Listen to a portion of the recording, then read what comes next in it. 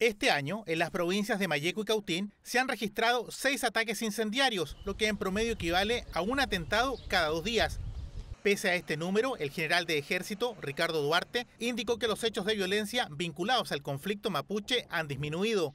Respecto de los cuestionamientos a los patrullajes, el jefe de la Defensa Nacional en la Araucanía señaló que el despliegue conjunto se reorganiza de acuerdo con una planificación estratégica vinculada a información de inteligencia, priorizando las zonas donde se registran acciones violentas.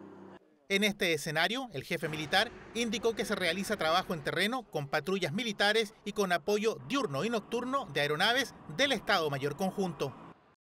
Yo creo que no hay miedo, lo que sí hay un estado de alerta por la población por los hechos que han ocurrido. La planificación es tanto diurno por las patrullas terrestres y también diurno y nocturno por las patrullas aéreas y de la Fuerza Aérea también, que apoya en, este, en estos procesos.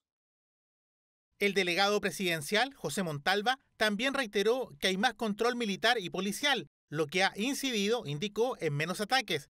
Sobre la vigilancia en zonas rurales, el representante del gobierno dijo que se protegen las cosechas para asegurar que los productos lleguen a las familias chilenas y no se produzca un impacto negativo en los precios.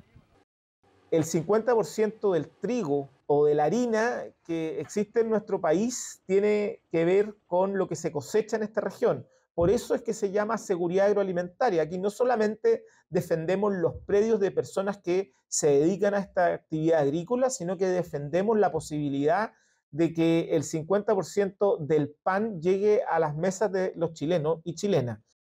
En otra de las aristas del conflicto mapuche, el vocero y líder de la coordinadora Arauco Mayeco, Héctor Yaitul, a través de un comunicado, recordó que en las cárceles del Biobío y la Araucanía hay 15 comuneros que hace más de 45 días están en huelga de hambre. Y agregó que este gobierno, que se declaró progresista, es el que más los ha perseguido en los últimos años con acuerdo de la clase política, con la aprobación de leyes Naín Retamal y la ley de usurpación.